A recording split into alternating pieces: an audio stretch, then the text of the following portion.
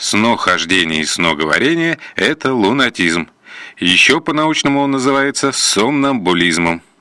Кто такие лунатики? Как лунатизм проявляется у детей и взрослых? Причины его возникновения. Открываем секретное досье за номером 6. Здравствуйте, мои хорошие.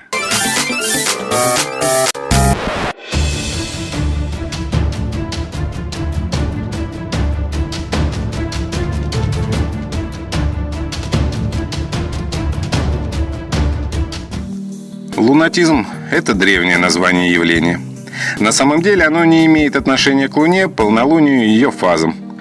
По версии, такое название произошло по причине того, что его выявить проще в светлые ночи, то есть при хорошем освещении Луны. История средневековой Европы не выносила на общественность факт лунатизма. О ночных прогулках своих родственников или близких не принято было говорить вслух – ведь лунатика могли признать ведьмой и покарать огнем и утопить. А с течением времени и с увеличением доверия к традиционной медицине сомнамбулизм стал болезнью, которой занимаются психиатры. Хотя они и признают, что очень часто за помощью в указанной проблеме обращаются не к врачам, а скорее к народным целителям и колдунам. Сомнамбулизм является достаточно широко распространенным явлением. Во всем мире им страдает около 2,5% населения – Снохождение возникает, когда центральная нервная система во время сна контролирует не все участки мозга, отвечающие за движение. А всемирно известный академик Павлов утверждал, что во время сна нервное торможение распространяется как на кору больших полушарий, так и на подкорку, а при лунатизме на последнюю не распространяется вовсе. Лунатики обычно во время сна встают с кровати и начинают ходить. Они могут совершать какие-то целенаправленные действия и что-то говорить. А со стороны может показаться, что человек находится в состоянии бодрствования. Однако это не так. Если присмотреться, то будут заметны некоторые особенности, присущие сомнамбуле. Движения человека будут медленными и плавными. Хотя глаза лунатиков открыты, но они ничего не воспринимают и не слышат.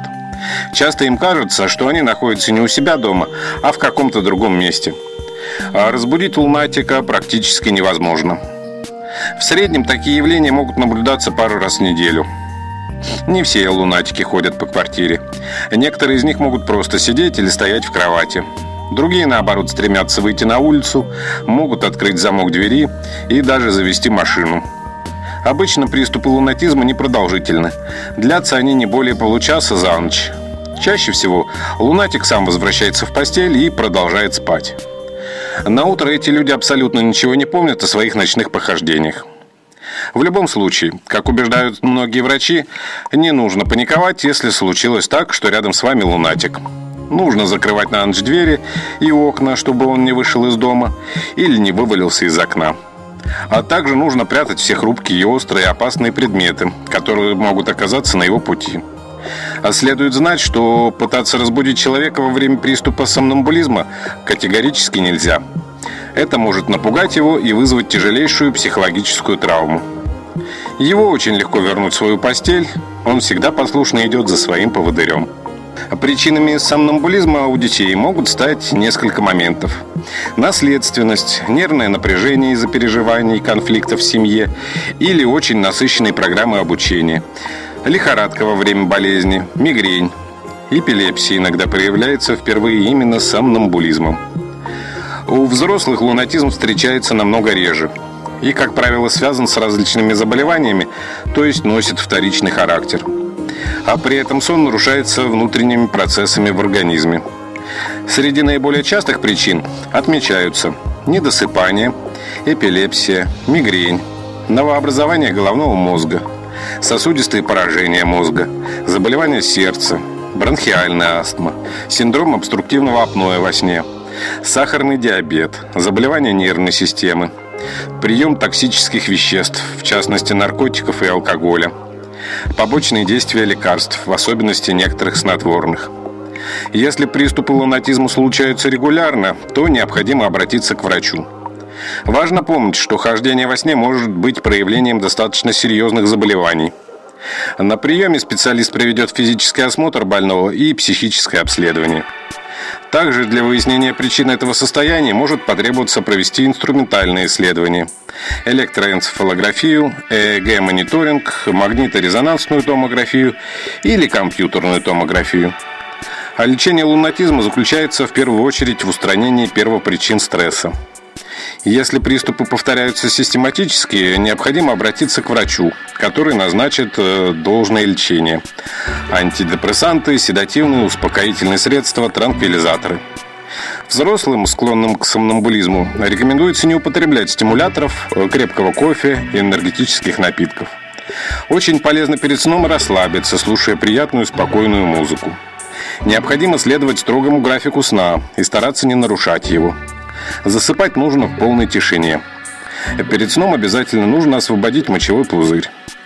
Что же касается детей, в первую очередь надо оградить ребенка от любых стрессовых факторов. Наладить режим дня, больше гулять на свежем воздухе, чрезмерно не нагружать э, интеллектуальной работой, исключить просмотр телевизора и компьютерные игры. Такие травы, как мелисса, валерьяна и лаванда, стабилизируют ритм сна, Приготовьте ребенку успокаивающий чай. Смешайте по чайной ложке каждого растения в большой чашке и залейте полулитром кипятка. Дайте минут 10 настояться, после чего процедите. За час до сна напоите этим чаем ребенка. Успокаивающие запахи способствуют нормальному сну. Можно использовать ароматические масла герани, ромашки, мелисы, сандалового дерева или иланг-иланга. Следует э, распылить эти масла 5-8 капель в детской, либо использовать аромалампу. Включите ребенку послушать медленную классическую музыку. Сделайте расслабляющий массаж. Если лунатизм вызван каким-то конкретным заболеванием, необходимо грамотное лечение первичной патологии.